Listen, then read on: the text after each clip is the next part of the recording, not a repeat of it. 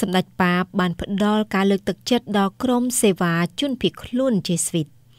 សម្ដេចប៉ា Francisco បានផ្ដល់ការគាំទ្រនិងលើកទឹកចិត្តចំពោះសកម្មភាពរបស់ក្រុមការងារ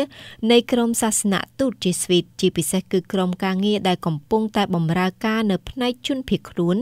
របស់អង្គការជាស្វីត។ Vatican News បានរាយការណ៍ថាជាការបង្ហាញ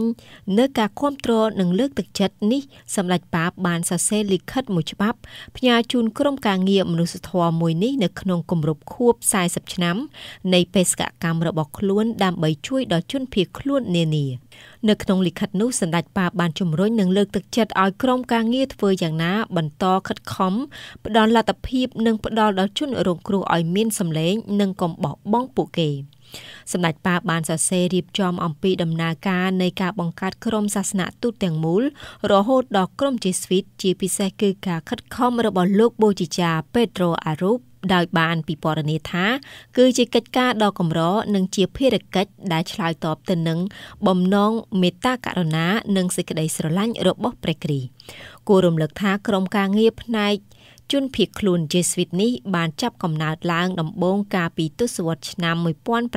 1980ដោយចាប់ផ្ដើមជួយជនជាតិវៀតណាមនៅឯលើទូក ហើយមកដល់ពេលនេះគឺជាក្រុមការងារជួរមុខមួយដែលកំពុងតែបម្រើជនរងគ្រោះដោយសារតែការរីករាលដាលនៃមេរោគ COVID-19 ដែលមកដល់ពេលនេះមានមនុស្សជាច្រើនដែលកំពុងប្រឈមមុខនឹងបញ្ហាសេដ្ឋកិច្ចនិងបញ្ហាជាច្រើនទៀតដើម្បីទទួលបានព័ត៌មានថ្មីៗពី RVA ខ្មែរ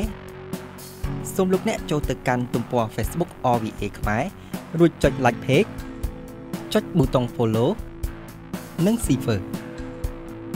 ចុចពាក្យ Standard ដើម្បីទទួលបានគ្រប់ព័ត៌មានថ្មីៗឬចូលទៅកាន់ YouTube ដោយវាយពាក្យ RVA ខ្មែររួចចុចលើពាក្យ Subscribe ចុចសញ្ញាកណ្ដឹងជាការស្រេចសម្រាប់ Twitter លោកអ្នកចូលទៅបើក Twitter ដោយវានៅក្នុងប្រអប់សេថា OVA ខ្មែរលោកអ្នកចុចទៅលើប៊ូតុង Follow រួចចុចលើរូបកណ្ដឹង ចូលទៅលើ All Tweet គឺជាការស្រេចសម្រាប់ Instagram លោកអ្នកចូលទៅបើក Instagram